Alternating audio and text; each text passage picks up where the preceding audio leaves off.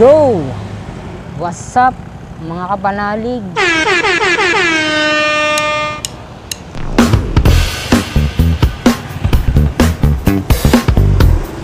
Ngayon, ang pag-uusapan natin ay patungkol sa peacemaker. Ngayon, hahanap ako ng lugar kung saan ako magbablog. Samahan niyo ako. Let's go!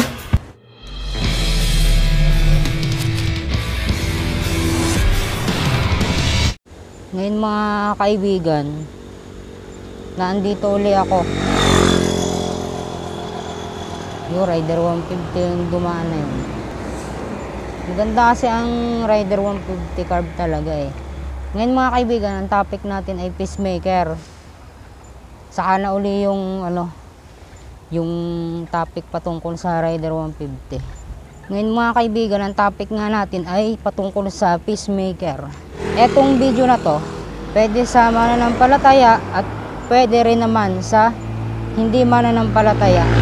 Ngayon, pag ba may gulo, sino lagi ang nagsisimula ng gulo? Yung nanggulo o yung nagpapaamboy? Alam nyo mga kaibigan, napakinggan ko ito sa sa convention. May, inat, may inatinan ako ng convention nitong December. Patungkol sa ganyan. 'Di ba minsan pag may mga kaibigan tayo, for example, close friend, sobrang close nating kaibigan. 'Di ba sino ang kinakampihan natin kapag ka may gayong senaryo? So pag may gayong senaryo, syempre laging pag sa magkaibigan talaga, sila-sila lang magkakampihan niyan. Yung isang tao na inaway, doon yan lalapit sa kaibigan niya. Siyempre, pag lumapit siya doon, papakinggan siya ng kaibigan niya. Tapos, kakampihan siya. O di kaya ay itong nagsusumbong o lumalapit, eh, merong inilalabas na sama ng loob. For example, meron siya, yung, yung, yung isinusumbong niyang isang tao, ipagpalagay natin wala naman siyang, wala naman silang alitan, pero nagkakaroon sila ng, kumbaga parang ichinichismis niya yung kanyang kaibigan.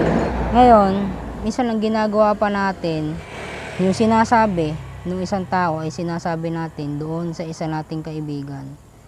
Gaya ng sinasabi ko kanina, sino lang ang magkakampihan? 'Di ba magkaibigan lang. Kasi yung kaibigan lang natin talaga makikinig. Ito, napakinggan ko to sa convention. Dapat sa mga ganong senaryo, imbes na maging kapayapaan ka sa dalawang may alitan, ang nangyayari, minsan tayo, sinasabi natin yung sinabi nung isa. Tapos, malalaman nung isa. Pag nalaman nung isa, magkakagulo sila. Hindi na tayo nagiging peacemaker doon, kundi nagiging pieces. Pieces maker.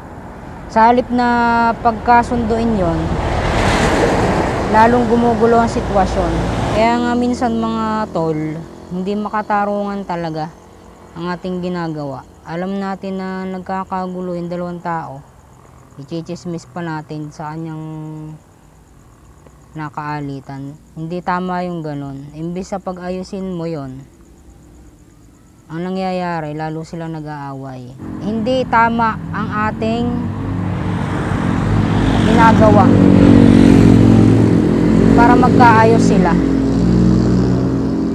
O example, ito nagsusumbong ay kaibigan ka. 'Di ba? Papakinggan mo yung nagsusumbong yung kaibigan mong 'yon. Hindi makatarungan yung ganun daw. Ngayon, sa madaling salita, kakampihan mo, kinakumbaga, kinakampihan mo yung kaibigan mong nagsusumbong sa iyo. Hindi tama daw yung ganun, hindi tama. Dapat wala kang kakampihan sa dalawa, kundi ikaw nga yung papagitna para magkaayos yon. Example sa tanod. Bakit may mga gulo lagi minsan? Bakit may mga gulo ang barangay? Sino nag-aayos? 'Di ba barangay tanod? May mga peace officer diyan, ganun din sa school. Minsan nga sa school, naalala ko nung high school ako, yung peace officer imbes na siya ang mag-aayos ng gulo, siya ang siya ang naging pasimuno sa gulo. So kaya may mga barangay tanod para pag-ayusin yung dalawang may alitan. Hindi dapat natin kinakampihan. Porket kaibigan natin, kahit kaibigan natin guys, hindi dapat natin kinakampihan at wala tayong dapat kakampihan sa dalawa. Ito, ito sinasabi ko sa inyo, pinag-isipan ko, pinag-aralan ko, pinagdasal ko ng maayos. At ilang beses kong pinag-isipan at ilang beses kong inihingi ng patnubay ng Diyos. Ngayon mga kaibigan, imbis na tayo ang pagmulan ng mitsa ng gulo nila, tayo yung dapat pagmulan ng kapayapaan nila. Example ako, isa pang example mga tol, mga kaibigan, mga kapanalig. Halimbawa, meron akong kaibigan, eh di nagsusumbong sa akin. Ngayon, kakampihan ko ba siya? Siyempre hindi, wala akong kakampihan sa kanilang dalawa. Tulad ng minsan nangyayari doon sa amin, patas ang aking pangangaral sa, sa, sa aking pamilya at sa ibang tao. Wala akong kinakampihan. Ang gusto ko nga eh magkaayos pa. Ngayon, example, meron akong dalawang kaibigan. Yung isa, ako'y patulog na, pakain, lahat, dala na, pabahay na. Meron pa akong isang kaibigan na ganun din. Halos parehas yung ibinibigay nila sa akin. Ngayon, nagkaroon sila ng alitan, sino kakampihan ko sa kanila.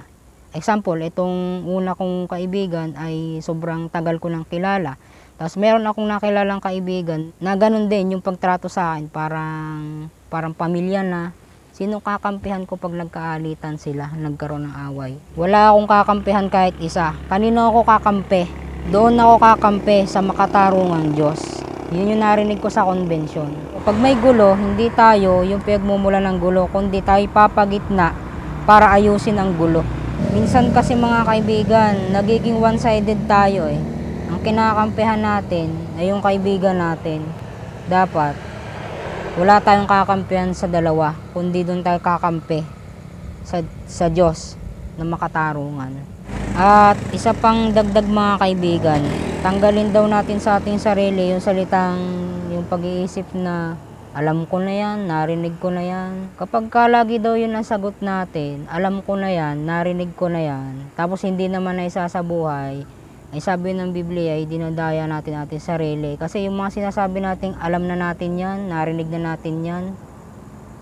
Yung narinig ko doon, alam na nga natin, hindi naman na isa sa pamuhay. Ako guys, hindi ako nagyayabang sa inyo, nag, oh, ginagawa to para magpa-impress, magpasikat. Ito ay ginagawa ko para sa Diyos. Kasi, isipin natin, no, yung salitang, alam ko na yan, narinig ko na yan. Kapag ka ganun daw ating thinking, ibig sabihin, ma-pride daw tayo. Nung time na ako hindi pa nakakakilala sa Diyos, hindi sa pagyayabang sa inyo, tanyo, ang dami kong natututunan. Kasi naranasan ko. Ngayon, pag sinasabi daw nating alam ko na yan, narinig ko na yan, nag-seminar tayo, nag na gumraduate ng Bible School, tapos pag pagdating naman sa labas ng bahay o sa ibang lugar, nagmumura pa din tayo. Ngayon, kung alam na pala natin yun, ba't di natin mabago yung pananalita natin? Tama baga? Kasi isipin din nga naman natin, ano, pride nga naman yun guys eh. Yung salitang, alam ko na yan, narinig ko na yan, tapos hindi naman natin may sa pamuhay.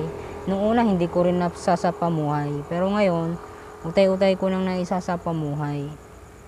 So sabi doon sa convention, sa narinig ko sa isang pastor, ay tanggalin daw natin yung salitang alam ko na yan, narinig ko na yan.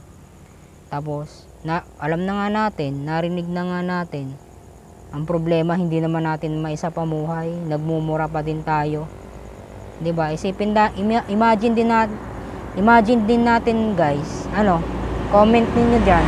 Isipin natin mabuti, ano, alam na nga natin pero hindi natin maisa pamuhay, nagmumura pa din tayo. Ibig sabihin, pagka, kapag ka ganun, mahina pa rin ang ating control sa sarili. Kaya minsan, isipin natin kung bakit talaga tayo mahina. Dahil kapag kami nangyayari sa ating isang bagay, hindi natin matanggap. Ma-pride. Hindi nagpapaturo, hindi nagpapasakop, hindi nakikinig. Lagi sasabihin natin, alam mo yan, dapat ikaw na, ikaw na sa church, alam mo na yan. Ibig sabihin, hindi ka nagpapasakop pagka ganun. Ganyan din ako dati eh. Marami na ako natututunan at nagagamit ko yung natututunan ko. So yung mga natututunan ko, ibinabahagi ko lang. Ayun mga kaibigan, dito ko natatapusin ang video na to. Naway meron po kayo natutunan. Maraming salamat po sa inyong pananatili, sa inyong pagsama. Magkita-kita po muli tayo sa susunod kong video. Peace out and God bless.